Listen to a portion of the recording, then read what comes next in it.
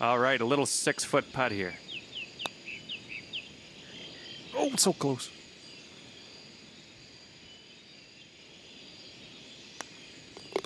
Let's see how that all adds up. 16 over for the round. Hole number nine.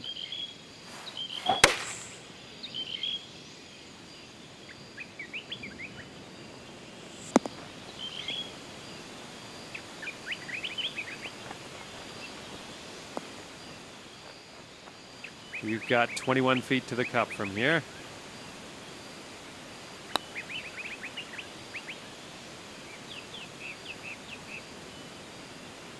Oh, I thought that was going in, but it was a good putt, though.